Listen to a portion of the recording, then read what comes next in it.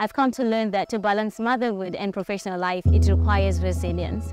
However, as an agronomist, I feel like I have the responsibility to take care of the planet.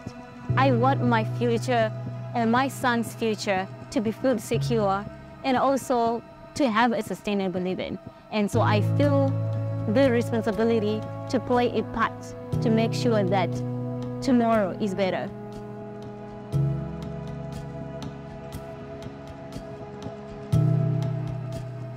Studying at Earth University taught me of social responsibility, environmental sustainability, and actually to make sure that every action that I take, that you take, that we take, leads out to a sustainable living. And now that I've completed, I have an opportunity to be in the Earth Fellowship at MasterCard um, Fellowship Program where I'm working with ILRI, International Livestock Research Institute. And uh, this is an incredible opportunity because I am working with farmers across Zimbabwe, various districts here in Zimbabwe.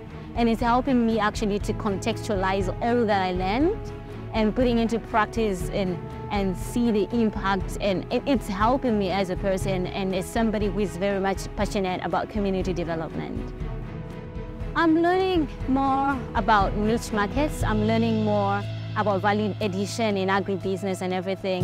And the way that I'm also impacting my knowledge with other farmers made me to actually think what can I also do starting with my family? And now we are in the process of establishing a family business um, that is that is based on poultry. Of course, we are selling the eggs, the chickens, and now we are moving on to actually uh, establish, we're building a butcher that we are going to actually be selling the meat and later on diversify to selling various kind of meats.